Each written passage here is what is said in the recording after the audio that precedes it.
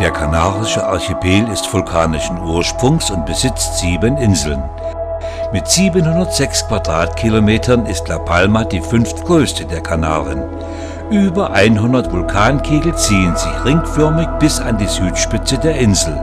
Dadurch wird La Palma in eine West- und eine Ostseite geteilt.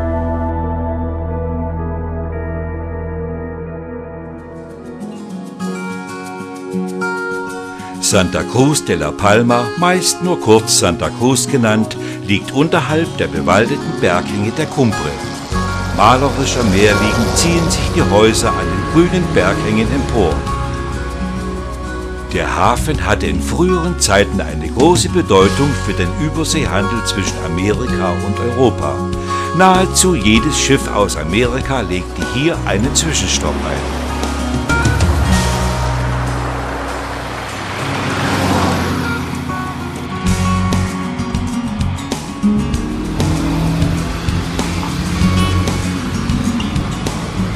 Hafen der Inselmetropole ist von seiner einstigen Bedeutung als Zwischenstation in die neue Welt nur wenig geblieben. Heute hat er aber einen wichtigen Anteil am Wirtschaftsleben der Insel. An der großen Mole legen täglich Frachter und Autofähren an, die eine Verbindung zu den anderen Kanareninseln aufrechterhalten. Auch Kreuzfahrtschiffe haben La Palma in ihr Programm aufgenommen und gehen im Hafen von Santa Cruz vor Anker.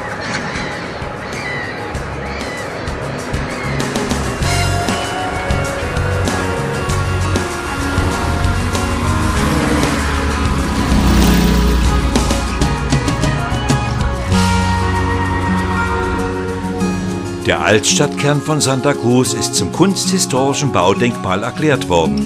Hier sieht man neben neuen repräsentativen Gebäuden auch einige alte Häuser im kanarischen und kolonialen Stil, die unter anderem kunstvoll verzierte Holzbalkone aufweisen.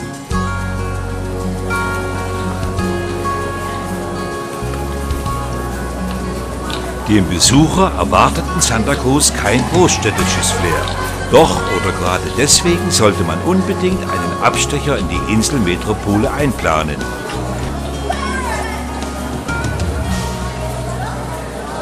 Die Plaza de España ist der Mittelpunkt von Santa Cruz.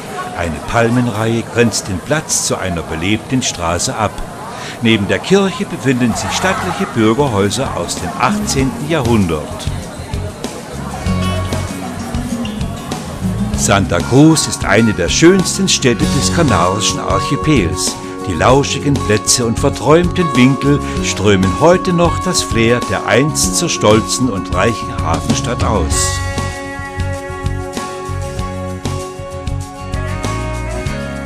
Die verwinkelten Gassen führen wieder auf die parallel zur Küste verlaufende Avenida Maritima, eine nur auf der Landseite bebaute Uferstraße.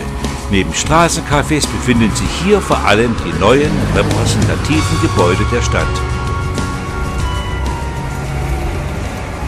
Etwa vier Kilometer nordwestlich von Santa Cruz liegt der malerisch gelegene Ortsteil Las Nieves. In Las Nieves steht eine Wallfahrtskapelle, die aufgrund einer Marienerscheinung errichtet wurde.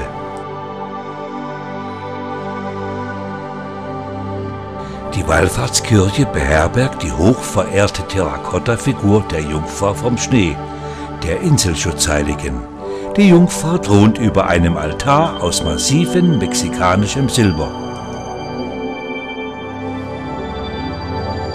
Die Terrakotta-Statue der Inselschutzheiligen wird seit 1680 alle fünf Jahre in einer feierlichen Prozession hinunter nach Santa Cruz getragen. Sie gilt als älteste Heiligenstatue des Kanarischen Archipels.